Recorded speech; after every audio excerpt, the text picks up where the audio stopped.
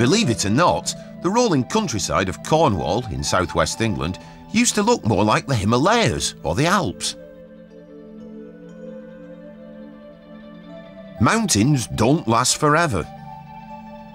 They gradually wear away at a rate of about 10 centimetres every thousand years.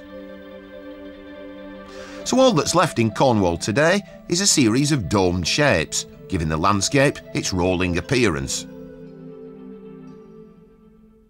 Changes in temperature from day to night and the expansion of freezing water cause rocks to wear away.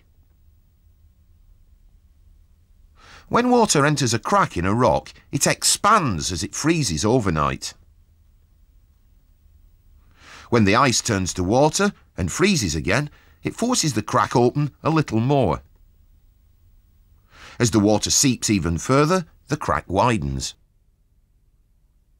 This freeze-thaw action is repeated. It eventually causes pieces of rock to break off. They fall down the mountainside, where they lie as pieces of jagged rock known as scree.